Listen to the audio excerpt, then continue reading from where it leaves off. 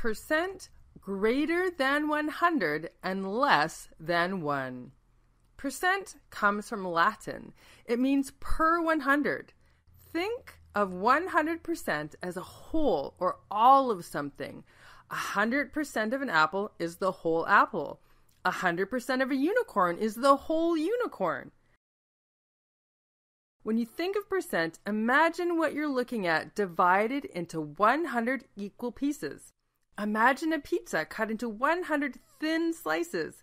If all 100 slices are there, you have 100% of the pizza, and each slice is worth 1%. If you eat one slice, 1%, then you have 99% of the pizza left. If you eat 25 slices, that's 25% in your stomach and 75% of the pizza left. If you eat half a pizza, 50 slices, you ate 50% and have 50% of the pizza left. If you eat 99 slices, you will feel very full and you will have 1% of the pizza left. Sometimes you'll have a percent that is less than 1. Imagine your one slice of pizza left, 1%. Now let's say you ate half of this last piece.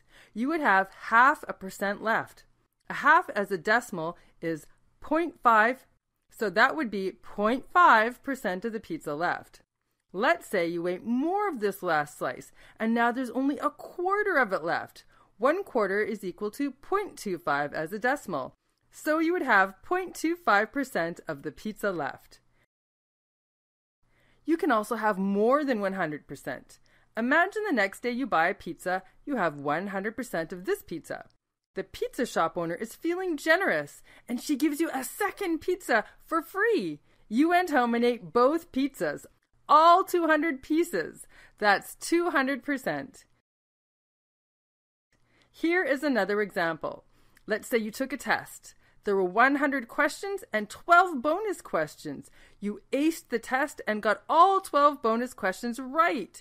You got 112% on the test.